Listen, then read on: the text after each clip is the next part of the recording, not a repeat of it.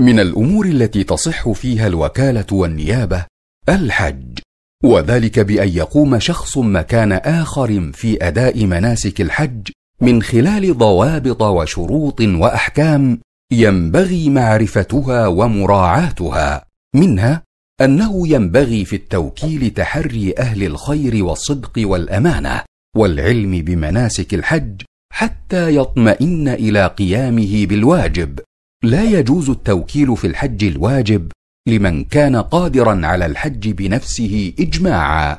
يكون حج البدل عن العاجز ببدنه لكبر أو مرض لا يرجى برؤه أو عن الميت لا عن العاجز بسبب ظرف مالي أو أمني أو مرض عارض.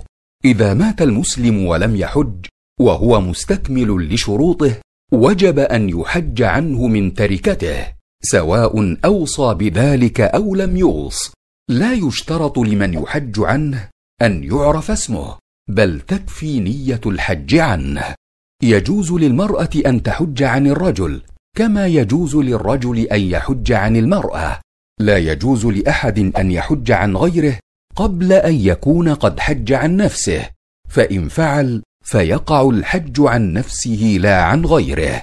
لا يجوز لأحد أن يحج عن شخصين أو أكثر في حجة واحدة وله أن يعتمر عن نفسه أو عن غيره ويحج عن آخر.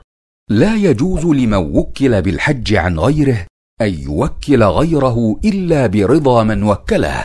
على النائب في حج البدل ألا يكون قصده أخذ المال وإنما يكون قصده الاستعانة بالمال على الحج والإحسان إلى أخيه بالحج عنه. من حج أو اعتمر عن غيره بأجرة أو بدونها فثواب الحج والعمرة لمن ناب عنه. ويرجى للنائب أجر عظيم على حسب إخلاصه ورغبته في الخير. ما يفعله النائب من أعمال خارج النسك كالصلاة في الحرم وقراءة القرآن وغيرها فأجرها له.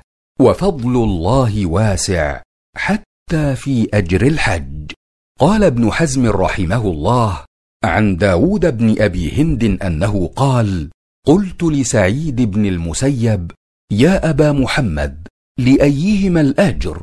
الالحاج أم للمحجوج عنه؟ فقال سعيد إن الله تعالى واسع لهما جميعا.